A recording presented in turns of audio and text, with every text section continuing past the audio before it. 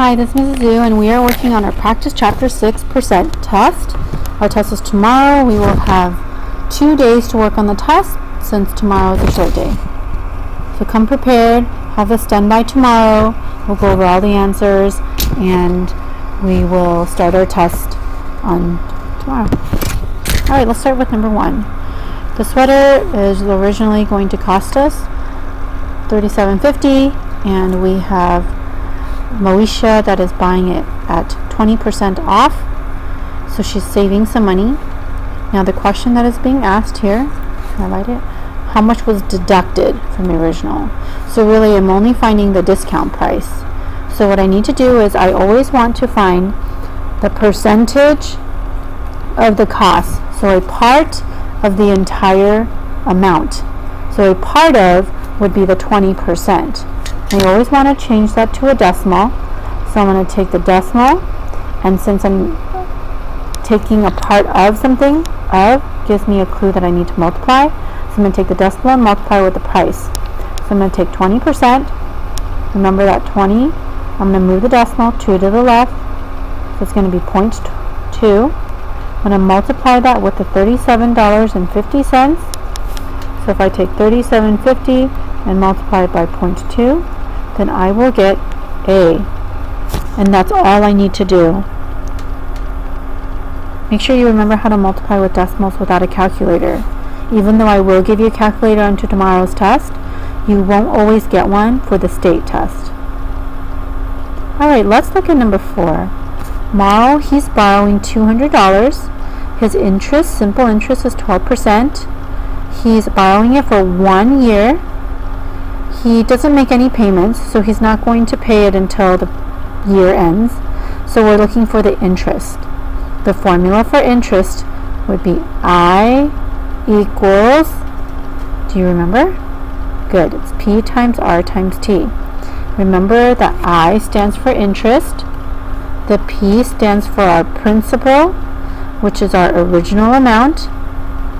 So check out note 7 if you forgot. We're going to multiply it by the rate, which is your percentage that you have to change to a decimal.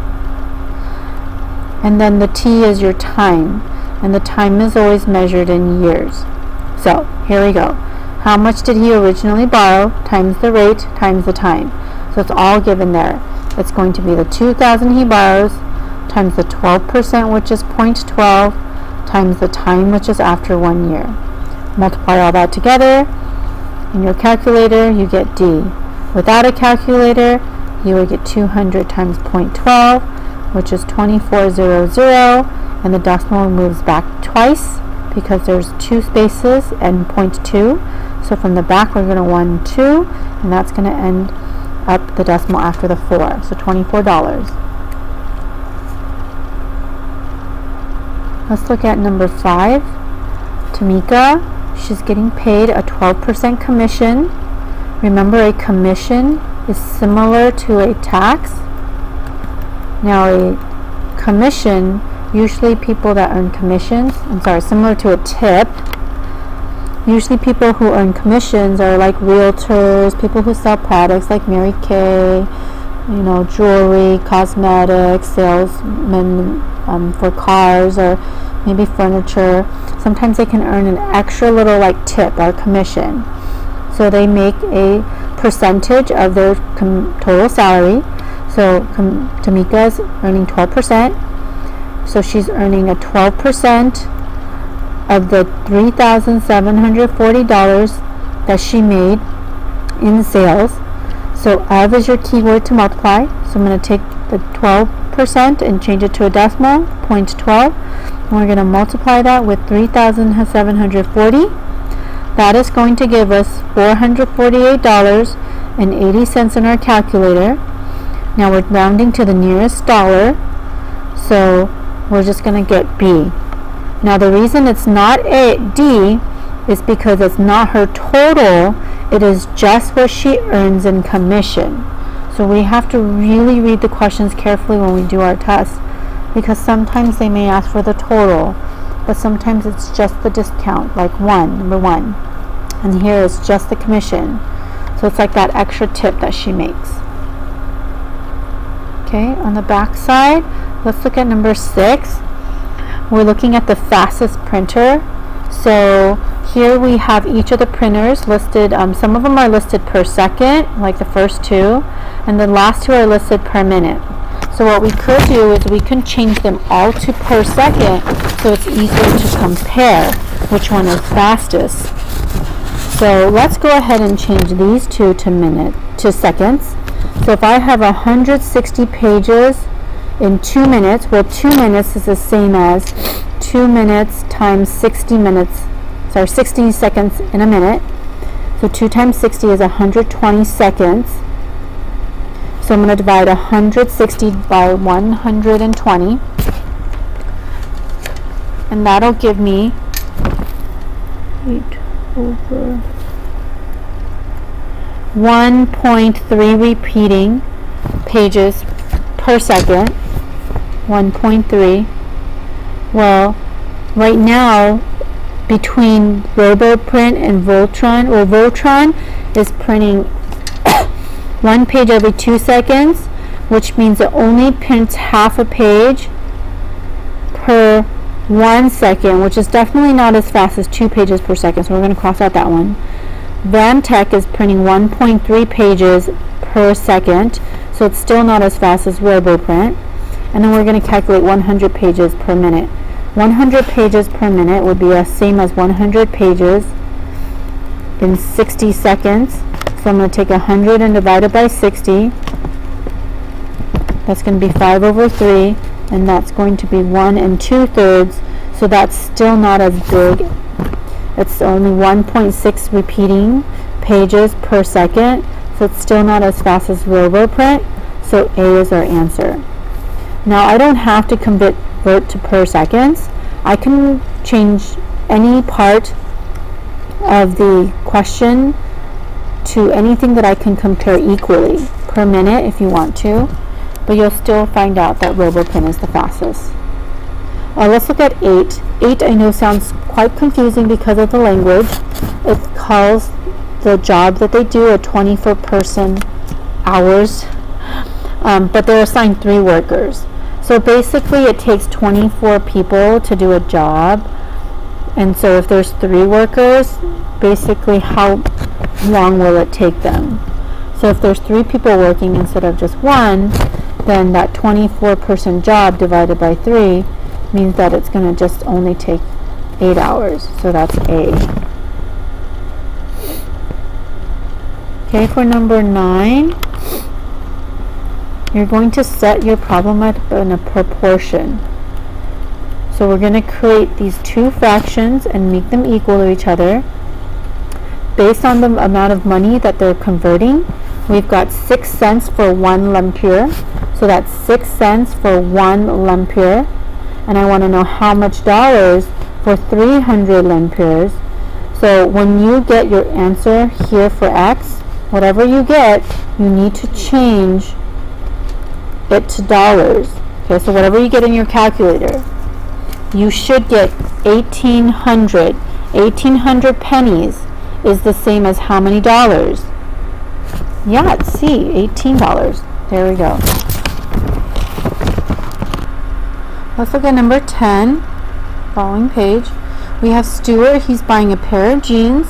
The jeans is costing him $40.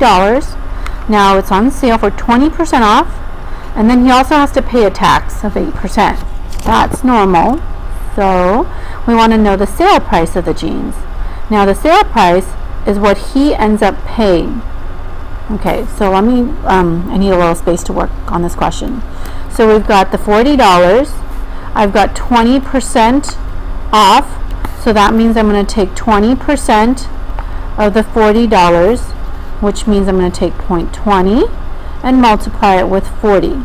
That is going to give me $8. So first, I'm going to save $8. So my sale price is going to be the $40 minus the $8. So I'm going to pay $32 for the pants. However, I have to now, I have to pay an 8% tax. Okay, so now I'm going to find 8% of the $32. So take 8 and change it to a decimal. The decimal for 8% would be 0.08. So we're going to take that and multiply it with the $32. Then what I will get is um, $2.56. So I'm going to take that as a tax and then add it to the $32. So my total becomes $34.56, which is letter B. Um, I'm going to skip 11. I'm going to go to 12. On number 12, we see that Juanita, she is making 36 for 3 hours. Okay, and we want to know at that rate how long would she have to work to earn $720. So I can write a proportion. And if I do, I'm to write two fractions. The first fraction that I can create would be that rate, the $36 for 3 hours, which would be 36 over 3. Actually, 36 over 3 is the same as 12 over 1. That basically means that she makes $12 for 1 hour. So that's hours in the denominator. So you can take any of those two fractions but the key thing here is to simplify the fractions and to have smaller numbers. So you're just we could just take 12 over 1. And that's equal to, on the other fraction we create, is also going to be dollars over hours. And since I'm looking for how long, I don't know how many hours, so that's my x in my denominator. And then I want to make $720 in my numerator. Okay, so then I would cross multiply. So I would cross multiply the x times the 12 and if you didn't use 12, you would multiply x with the 36. And that would give me 12x. And then I'm going to multiply 1 with 720, which is 720. Then put your equal sign in the middle. Then to find x and isolate that, I'm going to take the 12 and do the inverse, which is division. So I'm going to divide by 12. So x is going to be 12 divided with 720, which gives me 60 hours. For number 13, it would be best to also use a proportion, which I'm going to skip that question for now and move to a different question. I'm going to work down on the next page. Let's try 16. For 16, I'm also going to use a proportion. In this question here, when I set up my proportion, I've got two things I'm comparing. That's how you create your fractions. You compare two things. Just like number 12 that we just did, we compared his money that he made per hour. So here we've got the ounces of seeds compared with how large the lawn is. So I'm going to use my numerator as the ounces of seeds. So we know that if 40 ounces of grass seed will seed this large of a lawn, 2,400, then I'm going to write a fraction like that. I can even simplify this fraction, like get rid of the zeros. It's not going to change the number, that I have, but the numbers can become smaller so it's easier to work with, especially if I don't have a calculator. Okay, um, I'm going to make that equal to the second fraction, and again in my numerator I'm going to have ounces of seeds. So since I don't know how many ounces of seeds that I need, I'm going to put an X.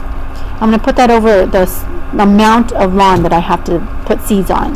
Now I need to seed both of the lawns. Both of the lawns that I have, one of them covers 3,000 square feet, and the other covers 42,000 square feet. So I just need to add them together to get the total for both lawns, which is going to give me 7,200. So there's my proportion. And I got rid of these zeros already. And in fact, I am now just going to cross multiply. So I'm going to multiply 72 with 4, okay, and then multiply 24 with x. When I cross multiply, I'm going to get 7,200 times 4, and then I'm going to end up dividing that, that by 240 and that will equal to my x which what I did in the calculator I did get answer letter C. Okay? And you might want to check your work for 18 and 19 I just want to give you the answers A and then B so that you can check your work for those two which aren't too bad not hard. 17 is D and 20 is D as well. And then if we go back to the front, since I have a little bit of time before it runs out on me, number three was C, number four was D, number five is B, number two is B,